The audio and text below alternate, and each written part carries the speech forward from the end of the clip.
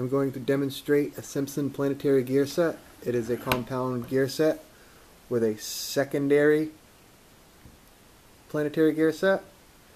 This is the sun for the secondary gear set, and it is directly attached to the primary.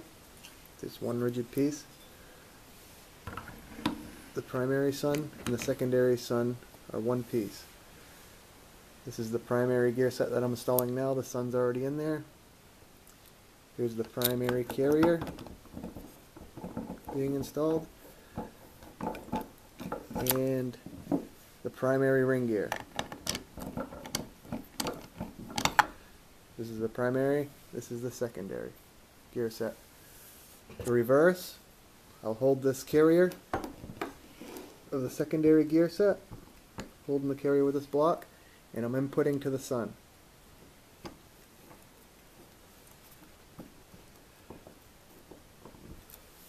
You can see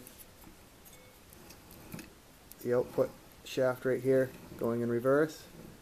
First gear, I'm going to continue holding the secondary carrier and instead I'm going to turn the primary ring gear.